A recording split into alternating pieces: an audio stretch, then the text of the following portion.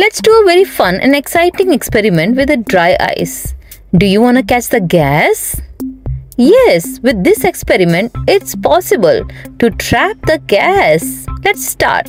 This experiment, we need a flask filled about one-fourth with warm water and some dishwashing soap. Add some squirts of soap into the flask and mix it well. Add a small piece of dry ice into the flask. And look what happens. As soon as the dry ice comes in contact with the water, it starts to sublimate. Dry ice converts into carbon dioxide as you can see in the bubble. And as this bubble produce, the soap also forms the bubbles and this gas gets trapped in the bubble.